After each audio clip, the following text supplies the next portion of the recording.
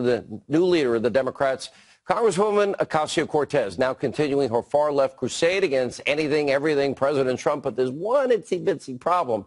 Reality just keeps getting in the way. Now, she was recently asked about her top three reasons to impeach the president. She had a little trouble answering the question. Kind of becoming common. Take a look.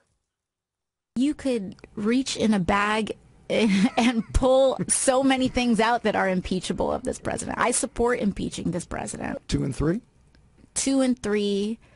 Um, I think two would be uh, tax fraud. Mm-hmm. And number three, um, man, I mean, there's just there's just so much. okay. Let me ask like you. the census. The, there's, right. uh, you know, I I can't even the the tax bill. It's like what can like there's just so much. It's just just so many things that I can't find one. I'm but I'm working on it. All right. Also ramping up her radicalism on foreign policy and taking aim at one of our most important allies. Take a look at this. I think what we're really seeing is the ascent of authoritarianism across the world.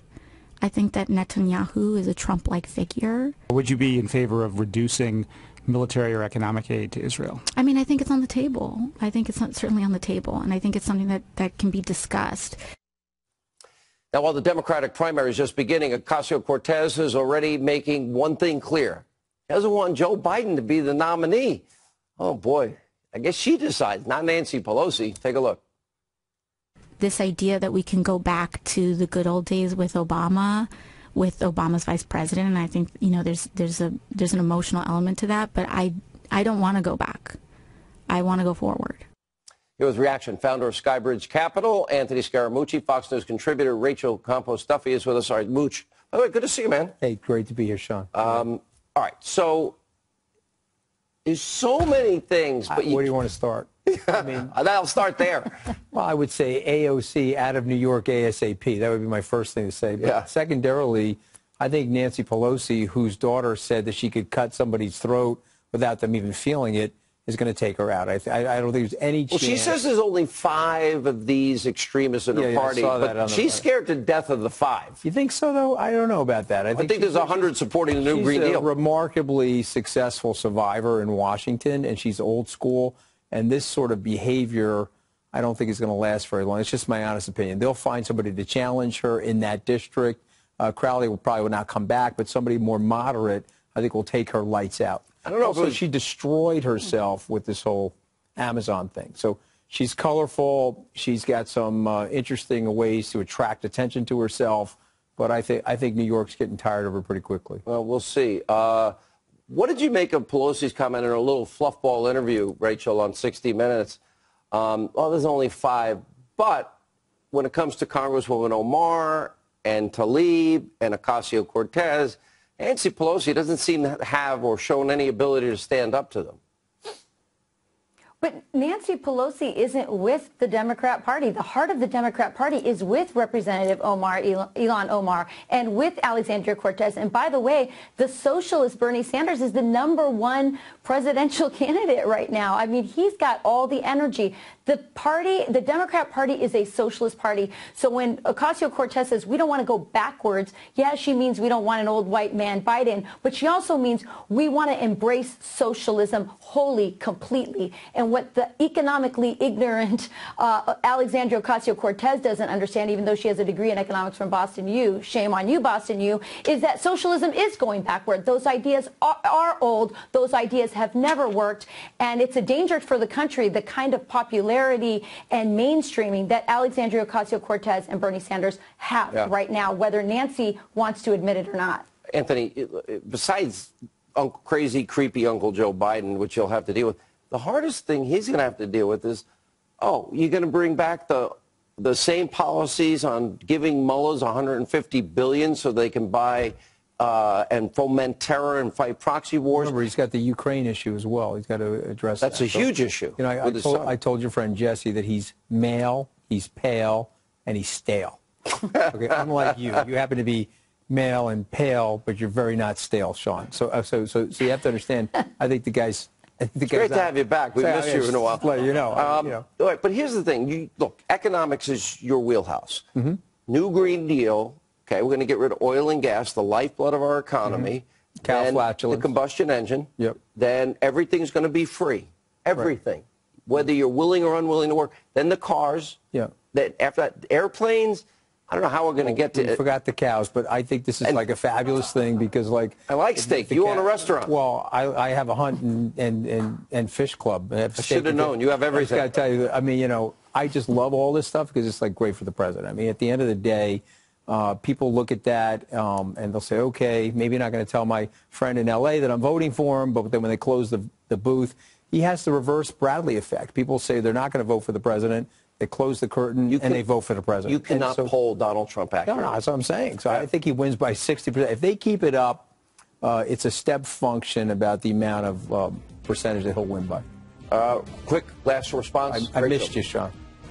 Keep keep shining a light on the hypocrisy of these socialists with very rich tastes. She lives in, a, in an apartment with an infinity pool on the penthouse. Uh, Bernie Sanders loves to fly private jets, so they talk a good game. But he even said today on the town hall that he um, is not interested in paying the tax rate um, that he proposes right now. So um, they, they're hypocrites.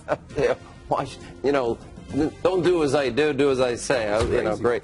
And I'm a millionaire, but I, liberals are only generous with other people's money. So that's the number one rule. What is going on?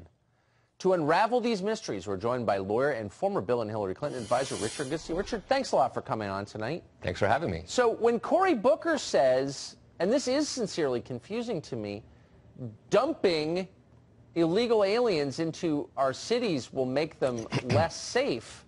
How can that be true when we know from him and you and everybody else on the left that they actually make us safer?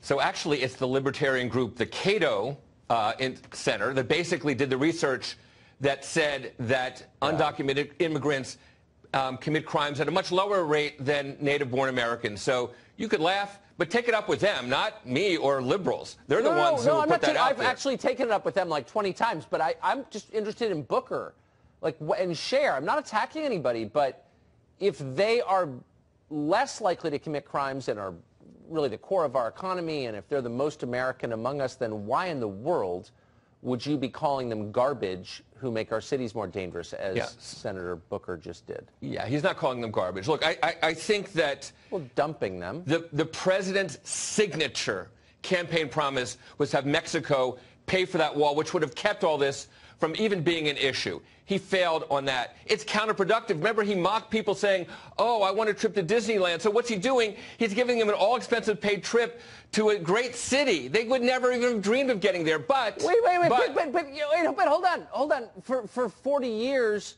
we've taken refugees and moved them into rural and poor America.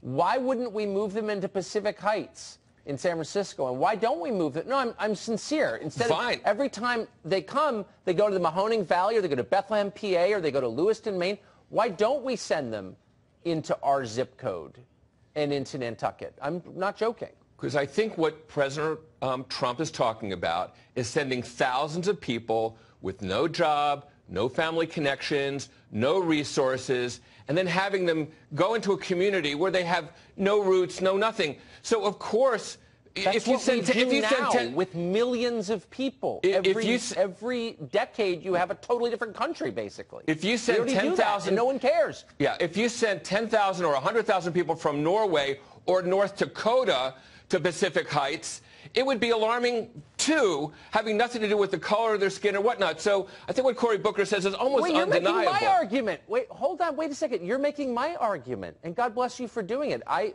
I believe what you just said, and I agree with it. It's not about race. It's about the pace of change. People can't handle it, and why should they have to handle it? I agree with that. And people called me a white nationalist for saying that, but you said the same thing, and you're right. But I'm just asking, why don't we have the same concern about the rest of the country that is getting this imposed on them, and nobody cares? Why don't Yeah. we care? He, the, the problem, Tucker, is the president tried this in the 2018 campaign about caravans. That didn't work. Ed Gillespie, as you remember, famously tried it about MS-13 in the run-up to his election day, and he went from being tied to losing by nine.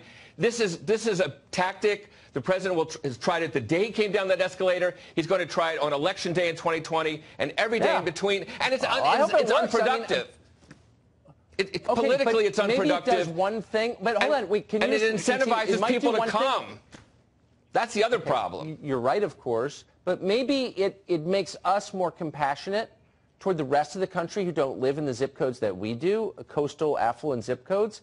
And when they complain about immigration, maybe they're not bigots. Maybe they just want some control over what happens to their town. Yeah. Do you see and what I'm saying? And, and I think comprehensive immigration reform is essential. If that's what the president's trying to accomplish. the, go back to the 2013 deal that had Rubio, Lindsey Graham, and Right. other pinkos supporting it. Right. That's No, the basis for a bill. This is this is the right.